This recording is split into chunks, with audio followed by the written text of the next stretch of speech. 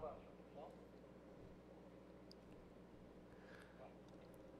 E aí, tudo certo? Chegamos à quinta-feira, dia 27 de julho, e hoje a gente vai falar sobre o Lula, que recebeu a embaixadora dos Estados Unidos e deve conversar nos próximos dias com Joe Biden.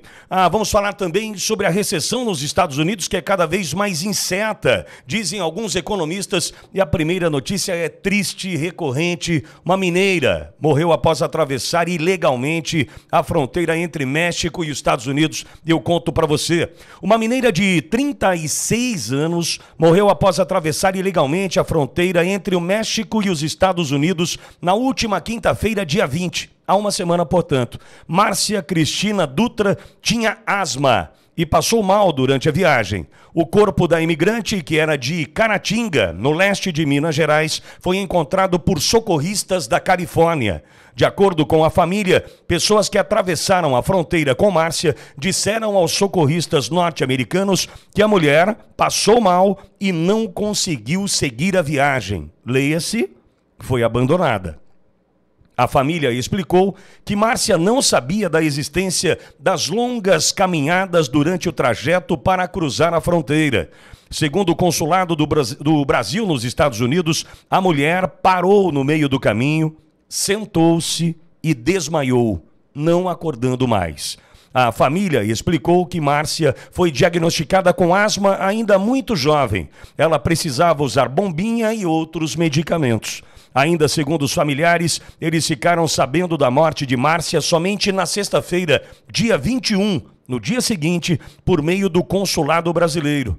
A mulher, que trabalhava na parte burocrática de um laboratório em Caratinga, resolveu ir para os Estados Unidos à procura de uma vida melhor para ela, para a filha de 11 anos e também para parentes. Os familiares disseram que Márcia começou a planejar a viagem há cerca de oito meses e chegou a ser convencida pelos parentes de desistir. No entanto, Márcia retomou o sonho de ir para o exterior depois que o namorado foi para os Estados Unidos há dois meses. Segundo os familiares, Márcia era uma mulher sonhadora, mãe, batalhadora e que não media esforços. Uma irmã de Márcia contou que agora a família tenta trazer o corpo para Caratinga, em Minas Gerais, para o velório e o sepultamento. No entanto, ainda estão calculando as despesas que vai desde a documentação até o translado. Além disso, todo o processo pode demorar bastante para ser concluído. Os parentes pretendem criar uma vaquinha virtual, uma vaquinha online, para arrecadar o dinheiro das despesas. O corpo de Márcia está no Instituto Médico Legal de San Diego, na Califórnia. Sempre que a gente pode, aqui nós trazemos o alerta. O atalho não dá certo. Contamos aqui dias atrás outras mortes. Uma criança de 4 anos lançada como isca de um muro de 9 metros de altura. Eu queria entender como é que tem pessoa que ainda cai na tentação de tentar entrar ilegalmente nos Estados Unidos.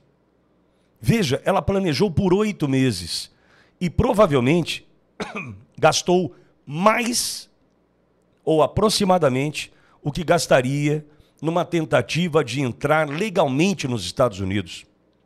Lembrando que agora, além da falta que Márcia fará para sua filha de 11 anos e para sua família, ainda há todo um custo do traslado do corpo aqui para o Brasil. É uma dor contínua que não parece ter fim. Quando é que estes brasileiros vão entender que o atalho, neste caso, é o pior caminho? Tem mais uma informação. O presidente Luiz Inácio Lula da Silva recebeu na segunda-feira, agora dia 24, a embaixadora dos Estados Unidos no Brasil, a Elizabeth Frawley Bagley, e deveria ter uma conversa ainda por telefone esta semana, ainda não confirmada com o presidente americano Joe Biden a conversa que deve acontecer ao longo dos próximos dias. Segundo a embaixadora Bagley, que concedeu entrevista ao Palácio do Planalto após o encontro, a conversa entre os dois líderes foi uh, será, aliás, num futuro próximo entre Joe Biden e Lula. E aí eu pergunto o que pergun né, o que tratará Joe Biden com Lula? Ô Lula, você saiu daqui, né, e foi para a China, falou mal da gente. Ô Lula, você saiu daqui dos Estados Unidos, trouxe a Janja para tirar aquela foto tal. E aí recebeu navios iranianos no seu país, dois navios iranianos. Pô, Lula, você vai para a China e na volta, perdão, recebeu o, embaix... o ministro russo Sergei Lavrov, que passou pelo Brasil, chegou aqui de sapatênis, num desrespeito absoluto à autoridade máxima do nosso país. Daqui partiu para Venezuela para vis visitar Maduro, para Nicarágua para visitar Daniel Ortega, foi para Cuba para visitar Miguel Dias-Canel. Lula, por que você fez isso? Dá para imaginar? Ô Lula, tem agora uma CPI das ONGs aí acontecendo, né? Nós aqui estamos empenhados a mandar para o Fundo Amazônia, destinado a essas organizações não governamentais, a bagatela de 500 milhões de dólares. Estão dizendo ali, Lula, que há o tráfico de crianças, tráfico de órgãos, sequestro de menores, prostituição de crianças indígenas. Ô oh, Lula, é para isso que vai o nosso dinheiro? Ô Lula, e agora? Né, você falando mal da gente, da OTAN, querendo ser o Nobel da Paz. Será que é por aí, Lula? Sabe, eu fico tentando imaginar uma conversa entre Joe Biden e Lula. Assunto não vai faltar. Provavelmente desculpa também não. Deixa eu te contar também que alguns analistas que formam, ah, que foram os primeiros a prever uma recessão nos Estados Unidos, começam a fazer um edge de suas apostas à medida que a inflação perde força e a economia permanece resiliente nos Estados Unidos.